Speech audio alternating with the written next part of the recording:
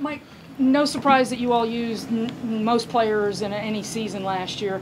The NFL owners made the change, uh, limiting uh, the re- return from IR to eight instead of unlimited as you had last year. Uh, does that maybe put, uh, and they expanded the number of games before you return from three to four. How much tougher does that maybe, you know, once you get into the season, uh, decisions when it comes to health? And, you know, you always put a priority on staying healthy, but with the tightened rules on I, on IR return, does that make it even more important to be as healthy as possible this year? Well, they're not our rules; they're just the NFL rules, and we try to follow them the best that we can. Um, you know, we'll see how it goes. You know, see how many guys are going to be out for an extended period of time. We'll have to manage the roster um, like we do every year. That's going to be uh, important. Saying how he feels mentally stronger than ever. How how does that show up um, on a regular basis inside the building? Uh, yeah, I think that's about the only place that it can right now with the you know the work that he's doing. You know, just because he really hasn't been tested. Um, but what we're, we're he's I think just really ahead of where he was obviously last year mentally, um, which is a great sign. Is that he's taking the time in the off season. You know, he was ready to go before we started installing. He wanted an iPad. He's working on his rehab. You know, he was focusing on on things that he could do uh, while he was rehabbing, and that that translated to, to a good understanding, of, a very strong understanding of what we're going to be doing. Um, he's been able to get some work in. Um, as you guys can see, that's been limited, but you know, that's all we ask them to do is you know focus on the things that they can do. Next time we see you'll be at the mini camp next week. What, what you, what's left, or what do you want, what do you want to do next week that maybe you hadn't done yet? I guess you'll find out next week, Jimmy. What, what, what have you liked about what you've seen so far, and what needs to improve? Well, I mean, I think we're trying to get into some conditioning. I think there's you know been some some some days with some heat. Um, you know, we saw us move down here into the red zone, the high red, uh, which is critical.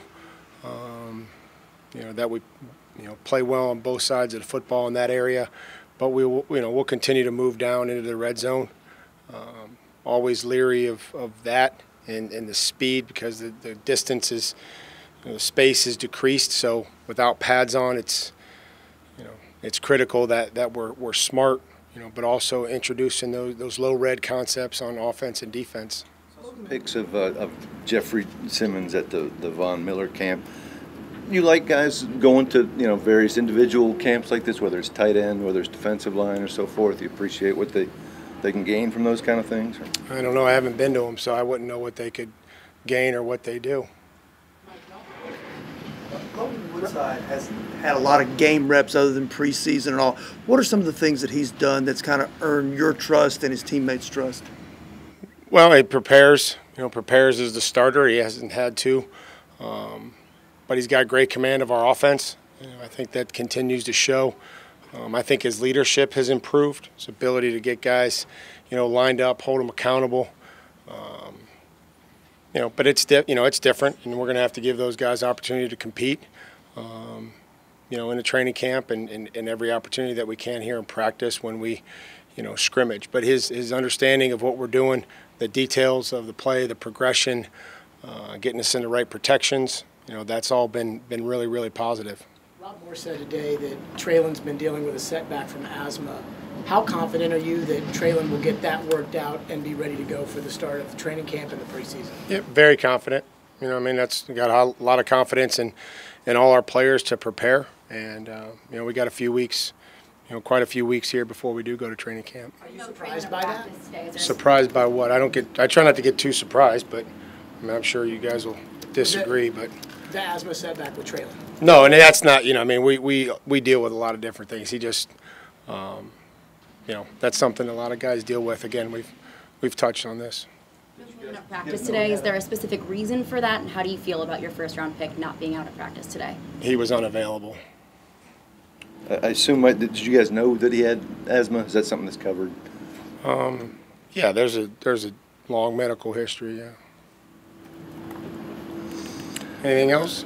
Um, Garrett, ask Garrett. Did you know a little bit about him? You know, through through Ohio State ties or anything like that? Or No, I mean obviously I you know watch him when I can, but we got we got business to do here. Uh, didn't you know, been a while since we recruited him. Spent time with him, some good time with him um, at the pro day. Understand the program that he's come from, and you know, he's you know, their group of young defensive linemen is is, is um, you know positive, and and I mentioned they're all kind of different, right? They all kind of not only look different, they got a different skill set, um, and so excited to see what those guys can do uh, and the role that they can develop when training camp comes. Mike, when you have a guy like Chig who uh, kind of has all the physical obviously refine and learn the offense, what's the challenge in a tight end position where he can do some things like seven on seven and run routes, but you also need him to block and do all the things on the line that he can't be all that physical right now, and how's he coming along with that?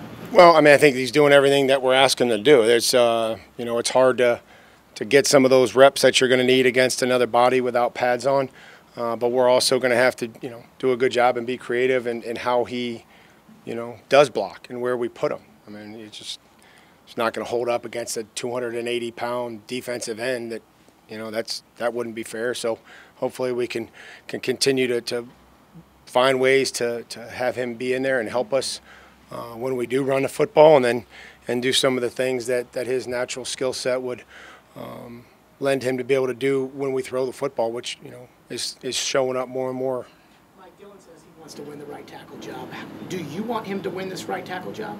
Yeah, I mean, I want every player um, that's competing for something to get it. I mean, he's worked hard, he's put a lot of time in, and he knows that he's going to have to go to training camp and, and earn a spot like like most everybody else. I mean, you know, obviously there are some spots here that you know you you feel pretty good about, but um, you know, Dillon is excited about competing. He hasn't uh, you know shied away from it. He's worked hard. Um, so looking looking forward to a to a great training camp with him. Mike, how do you view the spring in terms of, you know, the, I guess the balance of installing stuff and specifics, but also versus, you know, culture, getting in shape, things like that? Like, compared maybe even to other teams or even how you did it as a player, what's your overall, I guess, philosophy on, on the, the goal of the spring? Well, it's improvement, it's development. Um, we, we'd asked every player and coach to be willing to make a connection uh, with their with their teammates and with the coaching staff, understanding that you know not everybody's going to be best friends. You're going to have a different relationship with with some others than you will, um, you know, some some guys. And but just be willing during this time of the year to, to create those you know, connections, uh, be willing to learn, um, be willing to improve, and you know, I think for the rookies, it, I kind of noticed some of this install kind of gets to be a lot. So we've, you know, that's why you see some of the, the two spot stuff is where those guys can can focus on maybe some of the base stuff and and allow them to develop. I think that there was, you know, once you get into six and seven installs, uh, I started to see, you know, a little bit of regression uh, that I thought we were, you know, from where we were. And so they've dialed back, and now they're just able to focus on maybe some of the earlier stuff and, and, and see if uh, they can continue to improve. And then with the veteran guys, we just have to keep keep plowing ahead, and then we'll give it you know give it to them again once we once we get to uh, training camp. You altered that at all? Being head coach? Uh, I mean, I think we do that, you know, based on really each and every week, each and every day. And whatever we did three years ago is going to be different. There's going to be some similarities, and you know, it's the same with training camp and, and through the season. We see where the team is and kind of try to make a decision what's what's best for for them. Along those lines, the last few years, this time of year has been atypical. Uh, As you head into minicamp, are you able to remember just how valuable this time is for, for some of the younger guys and rookies to get ready to go? Well, I mean, I, I think it's critical for everybody. I mean, I think that uh, spending time with with your coaches and, and your teammates and, and doing stuff. I mean, we, we ran plays to yesterday and today that, that we've scored touchdowns on or defended in the season. You know, to say that those reps don't mean anything, I don't I don't agree with that. You know, I showed the team numerous examples of stuff that we did in OTAs uh, that we used um, in the season. Mike, how excited are you to get the guys that haven't been here back next week and have the team whole as one? I mean, I'm excited to coach everybody that comes, and I would imagine most of those guys will come that haven't been here. Um, just because they, they bring, you know, I mean, each of them brings something new and different and exciting, and it, you know, have relationships with them, and um, you know, so it'll be, it's just more guys adding to, to what we have here and, and the dynamic of, of building a team with different personalities and, and different people and different skill sets. Talking about Roby Woodside out there, what's he shown over the last four years to you know have you guys comfortable with him as far as running the system and understanding the way things operate? I mean, I think he just comes in, he competes, and the guys that we've had him compete against, he's outplayed them, outperformed them in training camp because, you know, his understanding of where to go with the football and, and the, the you know, the audibles, the checks, all, all the different things that go into playing quarterback. Have you talked to Derrick Henry recently or touched base with him about how he's doing this offseason? No, I just usually just check on Instagram. What do you think about those videos? I don't check them on Instagram. That was, it was a joke, Emily.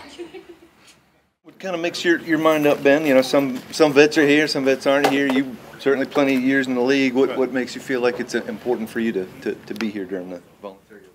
Yeah, um, everybody's off season is different. Um, I feel like this prepares me for the season and my success as a, a pro. Um, I feel like I need this. It makes me a better player, and as a leader, um, I like being here. I like being around my teammates, and as an offensive lineman, I like working with guys. And this is the time I can work with multiple guys because you never know who's going to be beside you, and I want to have as many bank reps as possible for the guy on the right or left of me. What's it like as a unit? Because it's not the first time you've been through, you know, change right. up front. I mean, what's it like as you guys kind of get to know each other and see who who wins jobs that are open? Right. Um, it's it's always an exciting time. You see guys compete. You see guys step up, and you want to see guys succeed in this league. Um, being in this league 11 years, i have played by a lot of different guys, uh, a lot of different guys throughout the years. And each each season, it's not just five guys you play beside each other all year. You'll see multiple different combinations in games throughout the season.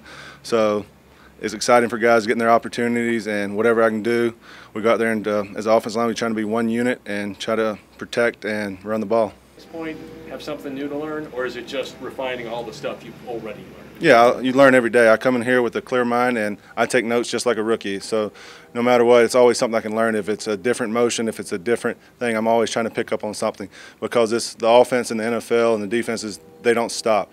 They're always trying to get an advantage. So as, my, as an offensive lineman, and as a center, I'm trying to take one step each year. What's your interaction like with, with the rookies, whether it's Malik right. Treylon or Hassan, as you try to get them up to speed and, and learn them? Right. Um, they have rookie um, classes after this, so my role was to go in there and talk about routine. Um, I'm a very routine guy. I'm here every day, even in the off season. I'm here from 8 to 12 every day in the off season.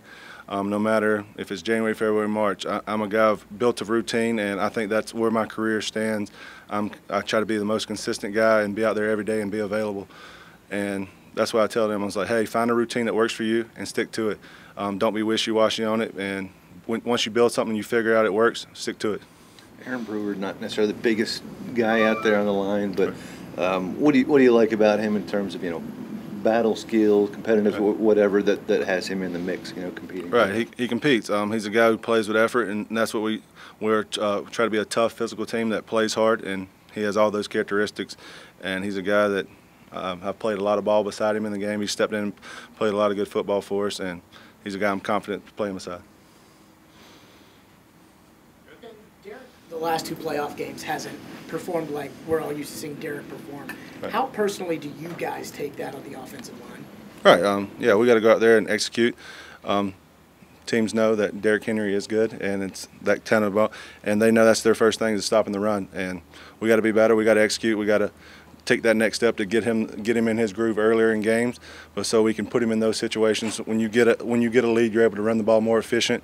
You get behind like we did last year. We're playing catch up and having to pick and choose when we run the ball.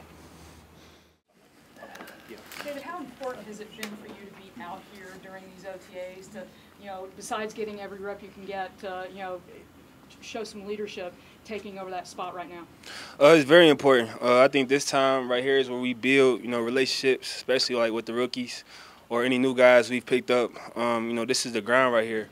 Uh, we know the rookies come in and learn about what we're about, and I'm here. I've been here, so you know I can give my few pointers that I have. Um, but right now, just stacking the days, you know, getting better each day. What's, uh, what's it been like making a transition uh, to a new position coach, and what do you what do you think about Coach King? And Coach King? Preaching, yeah. What's he preaching? Uh, he's preaching like he just stand on. Is very uh, into it. He wants to be out there just as much as we do. Um, so it's good to have that energy around us. Um, he lets us, you know, play ball. Um, he's pretty cool to coach. I mean, not coach, but pretty cool to have as a coach. Um, he just is like one of us. You know, he's out there, um, young guy, still, you know, uh, finding his way. You know, he's new as well. Um, so, you know, it's all around, you know, learning each other and, you know, keep growing as one. You said it's important to build relationships right now. Why is it more important now as opposed to later in training camp? Um, because we have room to you know make mistakes. We have room to you know and, and room to learn. So when it gets closer to the season, it's kind of like it's on edge. You know you can't you don't got room to mess up too many times. Um, so right now we can have those those times we can you know make new mistakes. That's a that's a saying here. Make new mistakes. Um, and just you know keep building and stacking the days. What's it like trying to improve on the little things after you've kind of established yourself as opposed to first coming in here, learning everything on the fly? Well, now it's like I know, I know a lot. It's more about like fine tuning the things and like fundamentals and what else can I like involve in my craft, whether it's spinning on blitzes or whatever you know that may be. Uh, just finding ways to get better and then finding ways, you know, rally my teammates, you know, to do the same thing. David, you mentioned how you're, you're trying to be more vocal. I, I guess is that in your nature, or is that kind of a, a role you're, you're trying to kind of come into and, learn um, kind of along the way, kind of your voice in that room? That's that's the thing. It's really not my nature. Like uh, as far as talking goes, I'm more on the quiet side. But uh, you can't be quiet on the field, especially as a linebacker, as a leader on the defense. You know, quarterback on the defense. So that's a that's a step in my game. I'm trying to you know improve in, whether it's on the sideline talking to the rookies or it's out on the field, knowing what everybody's job is and being able to communicate that. Impressions of like you may be considered undersized, but like you're one of those strikers on the field. Like, what's the mindset or the approach? Like, how did you develop that aggressive nature that you play with? Uh, I mean, I, I've heard, I've been hearing the, the undersized stuff since high school, uh, but it never, you know, changed the way I play. It really just revved me up for real, as far as like that dog mentality, and as far as like I'm gonna show you, as far as like you know how big or how little you think I am. You know what I'm saying? So um, that's just been me, and that's just been grown a part of my game. You know, high school, college, you know, hearing the same thing, and even in going into the league, you know, sixth round you know, after becoming a defense player of the year, it wasn't no knock on my talent. It was height, you know what I'm saying, or size. So, you know, just continuing to showing that you know that doesn't mean a thing. Right. You say you get better each year. Right. What are the areas you're sitting there right now saying, man, uh, if I could just do a little bit more of this, how can you take your game to the next level? I think everything, like like I said, I'm coming into now as far as communication, being more of a leader out on the field. Um, whether it's blitzing or coverage or the way he likes to, he likes his linebackers to drop. But like I said, he like he likes us to play our game. I'm a, I drop a different way than he might have coached years before. You know what I'm saying? But that's cool because you know I play ball at the end of the day. But like I said, he's a good coach and he he's helping me become a better player. Any early impressions, David, on, on Chance Campbell and how he's coming along? He's come a long way. Him and Gibby, they're asking questions, very involved, very smart rookies. Um, but they're they're here working. Um, fun fun to be around. Uh, just coming here to learn. You can see that they're eager to learn, eager to get out there and you know get some reps. You have a football camp this weekend? Yes. First one you ever had? Second, second. I hosted with um, with Mike Edwards. He plays for the uh, Bucks. We went to high school together. Um, at Winton Woods. Yeah, so we have it's our second annual uh, free camp for the kids, six to thirteen. Um, it's gonna be it's way bigger this time because I, I took the initiative to get some sponsors uh, late, not late uh, this year. So pretty good, pretty big turnout this year, hopefully. Your hometown of Cincinnati, is that right? Yes, sir. What, what's that like? Did you go to camps as a kid, and what's it like now to be hosting one? And what do you kind of want to get? What point you want to go across to the kids? Um, it's it's crazy that I'm I'm, I'm holding my, holding my own camp back at home. Um, but I did go to a lot of camps, uh, not like local camps. I went to like Ohio State and stuff. You know, they didn't offer me, but it's cool. Um, but uh, it's so it's so good to have that that platform that I can reach kids that come from the, the same type of area, the same type of background, the same type, you know, things that I wanted as a kid. I can be that, you know, that platform to, to you know, to do that. I was talking with Mike. It was basically like, just don't wait till it's too late, you know, to figure out what you want to do. Um, I think that's what happened a lot, like especially like high school I went to. Guys waited too long to figure out, you know, what they wanted to do. As far as football, was they gonna take it serious? Was they all in?